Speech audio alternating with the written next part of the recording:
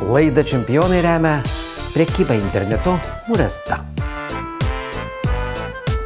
Moky mažiau, gyveni geriau.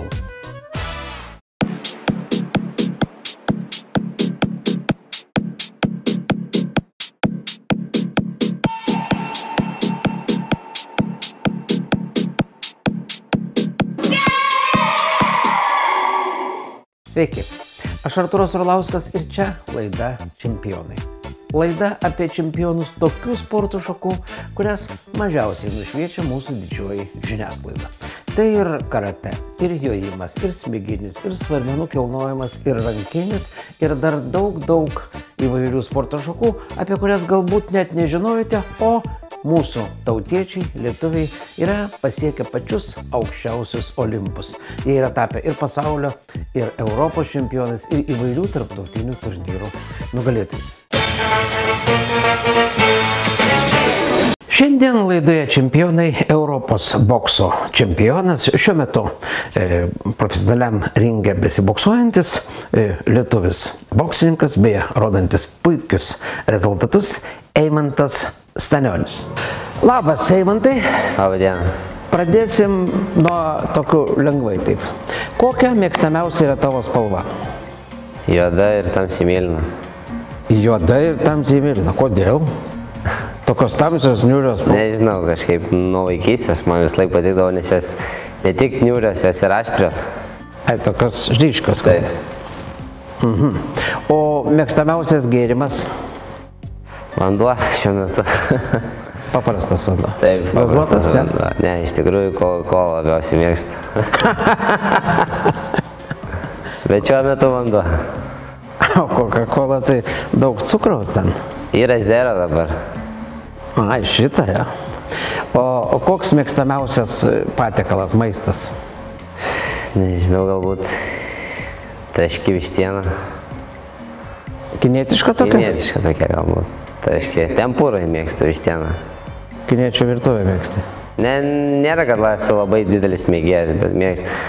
Bet galbūt, jo, galbūt taški ištiena ir paskui būtų makaronai.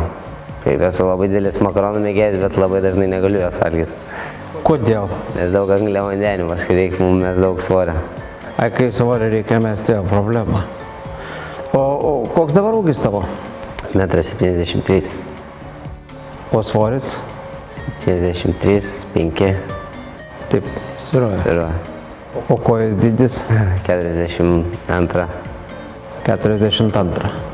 Jis atėjo 13 metų, kiek atsimenu, atvedė jį patėvis, atvedė čia į salę, čia buvo daug, daug tų vaikų, labai gerai atsimenu tą, tą momentą, jie čia e, pastovėjo, palaukė, sakau, gerai, palaukė, toj pasišnekėsim ir e, kažkur nuo 13 metų jis pradėjo sportuoti. Ir, ir iš, karto, iš karto tikrai man tas užstrigo, kai jis atėjo, iš karto nori dirbti, nori tikslai jo kokie, žinai, taip toliau, jis, e, e, kaip sakant, atėjo su aiškiu tikslu. Na, va, padirbom, padirbom. Pradžioj gal ten, žinai, vienaip, kitaip atrodė, bet jau matęs, kad pas jį kažkas yra. Ir, kaip sakant, paskui tai pasiderino, pažiūrėjom, kad tik, tikrai yra. Ir pradėjo iškėti psichologiniai tie dalykai. Iš pradžių galbūt tų tokių, e, kai kur tokių abejonių būdavo e, tuose, kovuose pas jį. Paskui mes pasišnekėjom keletą kartą, kad jeigu eini ringą, tai eini kovoti ir nėra čia ko bijoti. Ir tikrai jis labai greitai tą suprato ir, ir tikrai dėl kažkokių psichologinių dalykų nėra, nėra buvę problemų. Ir kai jis pats sako įtampą, ką jaučia, aš suprantu, kiekvienas jaučia. Bet, bet visumai jis yra stiprus psichologiškai. Ir ko labiausiai trūksta mūsų Lietuvos sportininkam, visiems. To psichologinio, tokio užtikrintumo, pasitikėjimo savim, o, o pasitas yra. Eimantai, ar teko tau kada nors panaudoti savo boksininko gebėjimus būti? Aš turiu omeny ne, ne, ne gatvėje, ta prasme, ne, ne, ne muštinėse, bet, e, nu, sakysim, užstrigo duris reikia išversti. Yra tekę. Va, sudarimų ten. Yra tekę. Tai papasako, kaip ten buvo. Nu, buvau jaunas mokykloje ir tenai sustrigo duris. Ir nu, reikėjo išmušti, nes tenai sustrigo klasiokai. Nu, aš Ai, viduje užstrigo Aha, ir neatsidarė, mokytojų nebuvo kažkaip tuo metu ir kažkaip nutarėm, kad reikia spirti. Nu, ir aš buvau vienas toks sportininkas. Nu, tai aš ten spadžiau, spadžiau, spadžiau, spadžiau, bet neišėjo man. O ranka nebandžiai? ne, ten sunkios duris buvo. Nu, Taip, bet pas boksininką vis tiek jau smūgis ranka stipresnis gal negu koja. Man ranka svarbiau, niekas tenais nedegė, kad reiktų mušti ranką. O gatvėje teko ginti ką nors ar pačiam apsiginti? Apsiginti yra tekę, ginti neteko, bet pačiam yra tekę. Manau, kiekvienam yra tekę apsiginti gatvį. Ar buvo tokių momentų, kad norėjai po kovos duoti teisėjai? Jo, yra buvę labai stipriai ir daug kartų. Yra, kur labai, labai norėjau daug, daug ką padaryti, bet nieko negali padaryti. Tai va tas yra pikta, kad nieko negali padaryti. Ringo teisėjai ar tiem šoniniam? Ringo gal tik vieną kartą, kažkaip ne, nėra taip susistegę, kad ringo teisėjas būtų toks kaltas labai. Yra vieną kartą tai tai buvo, bet šoniniam tai labai dažnai yra buvę ir kad labai stipriai norėčiau kažką padaryti. Ar, ar, ar buvo taip, kad e, ringo teisėjas tau pakišo koją, taip sakykime? Buvo, buvo, kovojau su Bulgarijos atstovu Europos čempionate, Europos čempionate, tai buvo mano pirmas. Tikrai stengiausi, labai norėjau laimėti ir, ir nesigavo. Buvau labai seniai pralaimėjęs pirmą kovą, pirmą kovą iškart kovos su Bulgarijos atstovu ir teisėjas man tikrai pakenkė, atėmė iš manęs taškus, už nežinau ką jisai sugalvojo. Tai va. O kai tu laimėjai Europos čempionatą, tu atsimeni tą kovą? Smulkiai, va taip. Europos čempionatą, kurią kovą? Daug- Finalinė, finalinė. Finalinę taip atsimenu, puikiai. Visas atsimenu kovas. Tai vienas mano gyvenimo įsi- įsimintiniausių etapų. Nebuvo baimės tokios, kad jau tu jauti, kad jau, atsakysim, antram raundė, kad tu jau laimi ir toks pradeda baimė, kad laimėsi. Nu, adrenalino buvo tikrai daug ir prieš kovą, nes tu žinai, kad tu eini ir kovoji dėl aukso medalio ir antras niekas nenori būti, vis laik nori tu būti pirmas čempionas, vis tiek visi sakys čempionas, o ne antras. Tai buvo, buvo daug tos baimės, bet kovos metu nebuvo. Kovos metu tu kovoji, stengiasi, eini iki galo, nes tu ne, negali atsipalaiduoti. Šitoje sporto šakoje tu negali atsipalaiduoti nei, nei vienai sekundai. Ar teko pagauti, kada jį rūkant? Džiaugiuosi, kad ne. Ir tikiuosi, kad nepagausiu.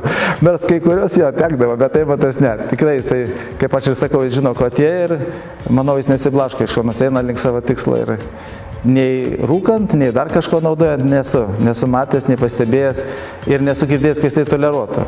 Gyra ten visokių sportininkų ir girdi ir pasikalbi apie daugą, kurie ten žolę mėgsta parūkyti ir dar kažką. Tai mano pozicija tuo atžvilgiu, aišku, ir mano tuo pačiu, tai, tai yra tikrai labai priešinga ir, ir net nesu girdėjęs, kad jam, va kaip kiti sako, aš gal norėčiau pabandyti, kaip čia veikia, kaip ką.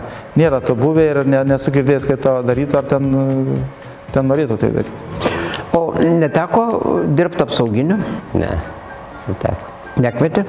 Nekvietė. O norėtų ar ne? Ne. Nes vis tiek reikės ten stumdyti su tais pijokais visais. Man nepatinka tas darbas. O ką tu norėtum vat, dirbti baigęs sportininko karjerą? Dar tiksliai nesu nusprendęs, norėčiau kaip ir galbūt kažką su treniravimu. Nenorėčiau treniruoti profesionaliai sportininkų, nes tai yra labai daug, daug darbo. Aš kaip matau, kaip mano treneris išvažinėja, aš dabar pats išvažinėjau visur, nematau šeimos, būnu vienas visada. Tada jeigu reiktų kaip ir treneriui išvažinėti, nu, būtų sunku. Nu, dabar labiau populiaru boksas kaip fitnesas. Tai žmonės ateina, kiekvienas nori pasportuoti, šiek tiek išmokti pagrindus ir kad būtų tokios kaip kardio treniruotės. Galbūt kažką tokio norėčiau.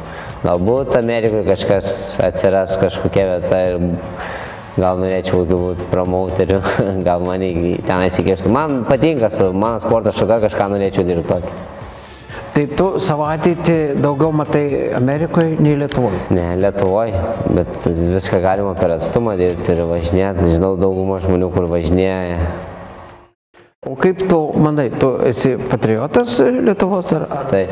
toks lengvai prisistabdantis? Ne, esu patriotas, negalėčiau niekada iškeisti savo šalies kitos pilietybės, niekada nesi, nepasimčiau, nesvarbu, kad ir kiek man pinigų siūlytų, tikrai ne. Žiūrovam pageidaujant dabar atokvėpis, tiesiog trumpa, žaibiška kaip Eimanto Stanionio smūgis reklama. E, tualeto ir šaldytuvo lankymai.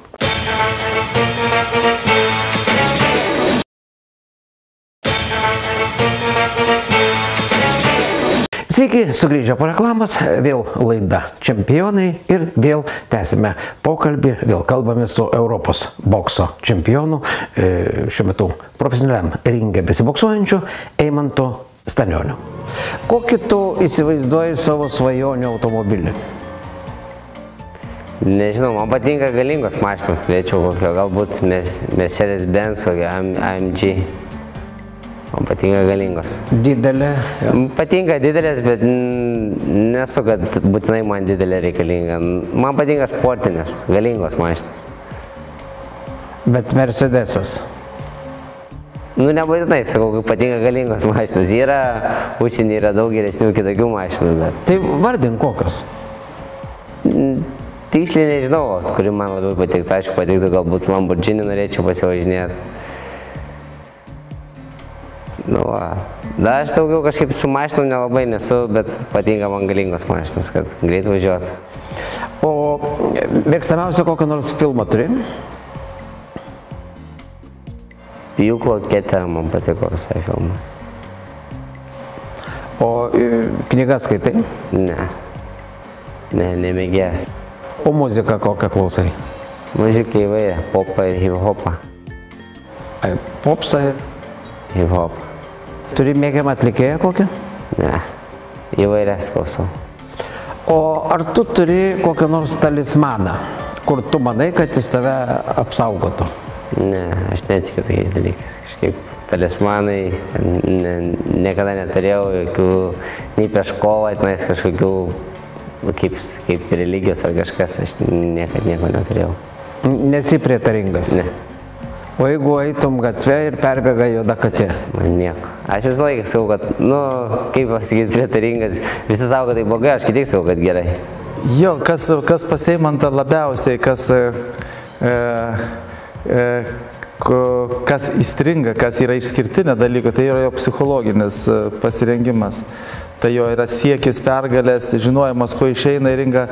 Kiti sportininkai išeina, tai ar tai boksininkai nesvarbu kas, išeina jie, išeina nežinia ko, išeina kovoti, kažką daryti, nu, išeina kaip gausis, ten, žinai, pas Eimantą to nėra, Eimantas išeina laimėti kovą, jis išeina, jis išeina, žino, ko išeina. Ir, o, ir, ir, tai, ir tai yra labai, labai gera savybė, tai kaip sportininkui labai daug duoda, nes sportininkas išeina siekti pergalės, o ne abejojamas kažko tai, ką jis ten darys, ką ten veiks, kaip seksis ir taip toliau.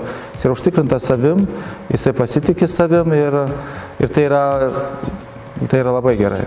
O kaip kovotojas, jisai, jisai e, nu, kaip sakant, kovoji tai irgi derini tą taktiką. Vienu metu tu galbūt e, sakai jam, kai jis būtų aktyvesnis, kai jis būtų dirbtų pirmų numerių, kai mes sakom, kitu atveju antrų numerių, ten išlaukti, gaudyti, bet taip daugiau vyroja paseimanda toks, e, toks sakyčiau,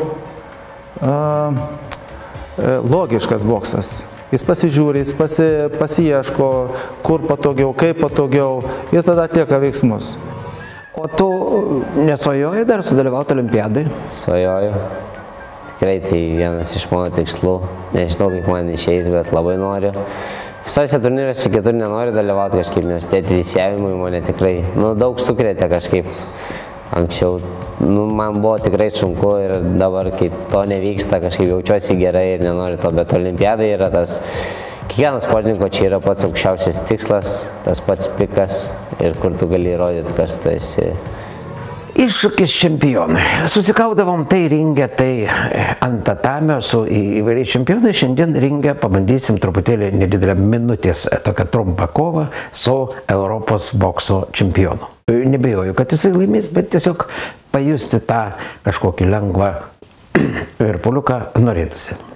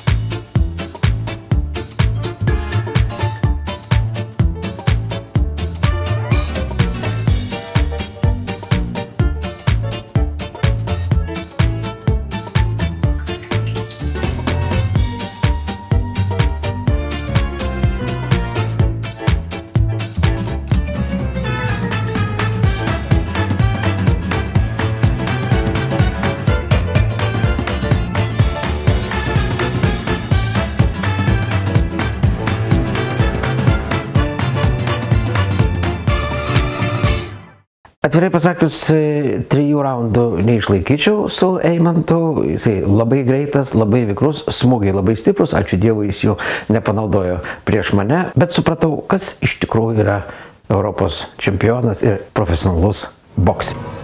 O kiek tu dabar kovų turėjai profesionalų? Septynės. Septynės. Kokie rezultatai? Septynės laimėjau penkias nokautais. Ne vienos nepralaimėjau ir ne vienos lygiam nebuvo. Penkias nokautais. O priešininkai buvo kokių šalių? Įvairių buvo. Meksikiečiai, amerikiečiai, nigerietis buvo. Ar tau yra skirtumas, e, reiškia, pirštinių spalvos ar ten kažkas, vad, boksuojantis? Ne, visiškai. Man tai neturi įtakos kažkaip. Aišku, galbūt vėliau ar ateitie norėtųsi gal gražios aprangos, bet jos yra brangios, pasisiūt pagal save. Na, aišku, pirštinių nepriderinsi tenais geltonų prie juodos aprangos. Kažkiek tu turi derinti, tu gali pasirinkti kokią nori spalvą. Bet man kadangi patinka labiausiai juoda, aš ir renkuosi juodas arba tamsiai mėlynas. Traumų turėjai? Turėjau daug. Ta prasme, ar buvo tokia trauma, tokia, kur, nu, žinai, kaip būna, jau atrodo, va čia pergalė ir staiga trauma ir tu, nu, va per tiek pralošiai tokia kaip ir gavosi, kaip ir ne dėl tavo kalties praktiškai, dėl atsitiktinumo. Kovos metu nebuvo tokios traumos, kuri man taip viską sugriautų ir kad aš negalėčiau. Man buvo traumos kelios kovos metu, bet aš žinau, kad aš turiu, turiu toliau kentėti ir, ir kovoti, nes aš esu vienas tenais, niekas man nepadės, tai aš turiu kesti visus skausmus. Jisai per treniruotės tinginys ar, ar darbštolis? Per treniruotės jisai tikrai netinginys, tai jis yra, jis yra, sakyčiau, per daug darbštus net. Ir, ir tai esam turėję ne vieną, ne vieną e, pokalbį, kad vat, tau reikėtų truputį mažiau, tau reikėtų daugiau pailsėti, galvo, kad tai tas krūvis turi duoti naudą, o ne tik tai, žinai, kad tu daryti ir paskui iš to gaunas, kad jis nesigauna ir taip toliau. Ne, man tas yra darbštus. Jis yra darbštus, jis žino, ko atėjo į tą boksą, jis žino, ko siekia, tai yra jo varomoji jėga. Jis atėjo siekti aukščiausių tikslų ir jis to siekia. Ir jis dirba, jį reikia stabdyti. Ar e, valgyt savo gaminį? Taip. O koks tavo yra, vat, tavo pagamintas kulinarinis šedevras, taip jeigu tai būtų galima papasakoti? Matot, stovyklos metu aš labai metu svorį, nu visada, nedažnai, visada stovyklos metu mes jį sportuojam, metam svorį arba prisižiūrim svorį. Tai paprasta vištiena, virta arba kepta, daug daržovių, jogurtai visokie. Tai tu padarai vištienos. Viską, viską aš padarau. Viską, visokius jogurtus turiu, visokių receptų, visokių ir, ir nemėgstu varškės, bet moku varškį kitaip padaryti, kad būtų ir ten be cukraus, be nieko, bet būtų skaniau, kad galėčiau valgyti, nes taip paprastai negaliu valgyti. O varškės nemėgsti. Nemėgstu, bet kitaip pasidarant galiu ten su mikseriu išplakant su proteinu, man skanu. Biški pieno šiek tiek, migdolų. Kiek padarai prisitraukimų? Nežinau, reikalui esant, kiek, kiek padaryčiau. Gal 25 padaryčiau, jeigu labai reikėtų ir prisivešiu. O šiaip dabar, anksčiau būdavau iš tikrųjų silpnas, nedarydavau prisirūkimų, bet treneris visą laiką konkuruoti norėdavo, laimėdavo treneris, tai vis vydavau, galvodavau, kaip treneris gali tiek padaryti prisirūkimų. Turiu ir aš padaryti bent kažkiek daugiau. Dabar padarau 20. Bet jeigu labai reiktų, 25, manau, pasistengčiau padaryčiau. O atsispaudimo? Spaudimų, manau, šimtą padaryčiau tikrai. Nesu padaręs niekada maksimaliai, kažkaip niekada nedarydavau. Padarau ten 50 ir užtenka, kažkaip ne, nedarau maksimaliai. Suvarvote šokinėjate daug. Kiek gali taip? Valandą? Ilgai. Parą. Parą, tai čia ant vienos kojos parą, kaip suprantu. O ant kitos dar parą, tai valgyti atnešu, o tu toliau. Supratau. Mes pripratę ant dėdos būti, mums nereikia valgyti. O tu treniravais Lietuvoje, treniruojas dabar Amerikoje, taip? Ir, ir ten, ir ten. Bet, nu, sakysim, dabar daugiau laiko turbūt Amerikoje praleidai. Ar skiriasi vat, sąlygos, specifika, treniruotės čia ir tenai? Na, čia mėgėjusi, kai kovojau, kovodavau 3 raundus, tenais reikia kovoti 80-12 raundų. Sportininkams norėčiau palinkėti labiausiai charakteriaus įspyrimo ir kad turėtų kiekvienas viziją, kur eina. Tai manau, tas yra svarbiausia. kur tu eini, nes jeigu tu eini be plano, neturi jokio tikslo, tai nežinau, kur tu nueisi. Kiekvienas turim turėti kažkur planą kiekvienoje srityje, kur ką mes matom. Galbūt mes kartais ir fantazuojam, aš atsimenu, kai aš buvau jaunas, dabar ten, kur aš esu, aš kažkada fantazavau ir ne, nenutaikiau, kad aš galiu ten būti, o dabar visą tai įsipildė. Mūsų svečiuose buvo Europos bokso čempionas Eimantas Stalionis. Kitoje laidoje susitiksime su dar vienu čempionu. Mes turime daug pasiūlymų filmuoti įvairius sportininkus. Jei turite jų ir jūs, galite mums rašyti per Facebooką. Mane visada ten susirasite. E, apačioje štai Facebooko adresas. Galite rašyti ir į YouTube kanalą. Šiandien tiek. Atsisveikiname su jumis. Iki kito šeštadienio savo laimės kalvis, tu savo upės valtis, tu kelio vairas, tu savo žemės vaikas, tu savo laimės kalvis, tu. Laidą čempionai remia prekyba internetu Muresta. Moki mažiau, gyveni geriau.